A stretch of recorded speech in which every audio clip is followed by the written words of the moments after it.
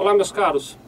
Quero conversar com vocês um pouquinho a respeito de mais uma obrigação que foi criada para as empresas, que é o controle fiscal e contábil de transição. Esse controle ganhou a sigla de FCONT. Quero explicar para vocês do que, que se trata e quem está sujeito a esta obrigação.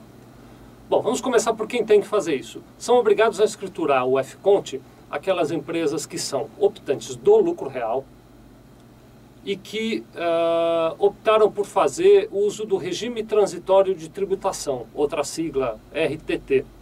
Nós temos na nossa biblioteca um vídeo sobre o regime uh, transitório de tributação. Se você tiver dúvidas a respeito desse assunto, eu recomendo que você assista esse vídeo. De maneira muito resumida, o regime transitório de tributação é um procedimento que pretende ajustar na contabilidade para fins tributários os critérios adotados pela lei das sociedades anônimas que prevê a contabilização com fins societários.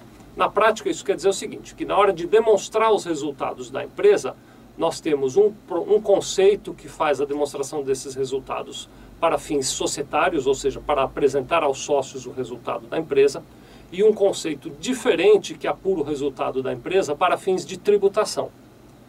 Trocando em outras palavras ainda, nós, as empresas não pagam imposto sobre o resultado apresentado aos sócios, mas sim sobre o resultado definido na legislação tributária. Quando existe essa divergência, quando o resultado apresentado aos sócios é diferente daquele resultado apurado de acordo com a legislação tributária, é preciso fazer a escrituração do F-Conte para, partindo do resultado societário da empresa, demonstrar os ajustes que foram feitos até chegar no resultado tributário da empresa. Então ele tem uh, que ser escriturado por empresas que têm um resultado societário diferente daquele resultado tributário de acordo com a lei das sociedades anônimas. O prazo este ano para a entrega do FCONT é de 30 de novembro, então o prazo uh, para a entrega da primeira uh, versão do FCONT será 30 de novembro de 2009. Receita Federal deve disponibilizar o aplicativo para isso agora no mês de outubro de 2009. E se você está sujeito a estas condições específicas de ter um tratamento societário e outro tributário, eu recomendo que você já comece a trabalhar na preparação do FCONT.